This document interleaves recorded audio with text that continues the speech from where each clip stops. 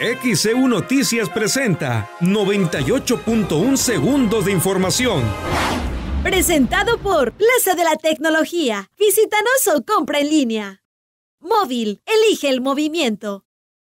Varadero Veracruz, la espera terminó y lo bueno está de regreso.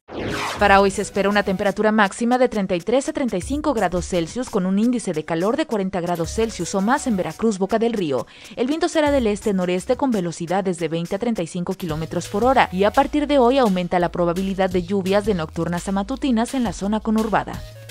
Rusia anunció que enviará a México 32 millones de dosis de la vacuna contra el COVID-19. La farmacéutica afirma que los resultados de los ensayos de la vacuna efectuados en el mes de junio y julio, en el que participaron 76 personas, mostraron en ellos anticuerpos contra el COVID-19 sin tener efectos secundarios graves.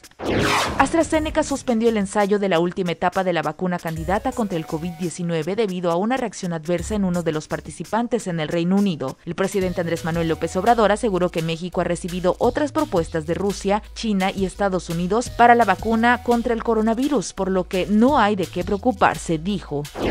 El índice de precios al consumidor en agosto registró un alza de 0.39% respecto al mes inmediato anterior y la tasa de inflación anual fue de 4.05%, el nivel más alto desde mayo del 2019, por lo que sale de la meta establecida por el Banco de México, reporta el INEGI.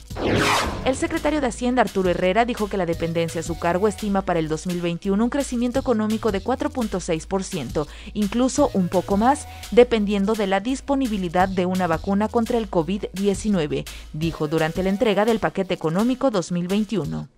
Presentado por Plaza de la Tecnología. Visítanos o compra en línea. Móvil, elige el movimiento.